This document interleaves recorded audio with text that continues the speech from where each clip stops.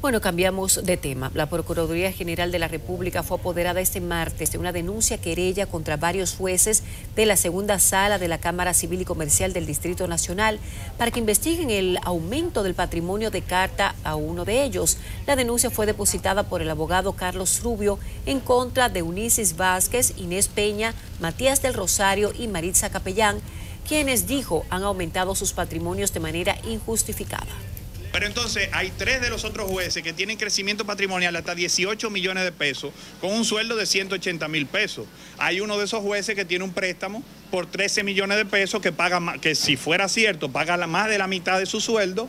¿Cómo puede vivir? Además los bancos no prestan a una persona que, que, meta más de la mitad de su sueldo. Crecimiento patrimonial de 5 y 6 millones en los últimos años en ahorro, o sea, aparte de lo que se gasta, de la comida y todo eso. Entonces, hay un crecimiento patrimonial en cuatro de esos jueces que no es justificado.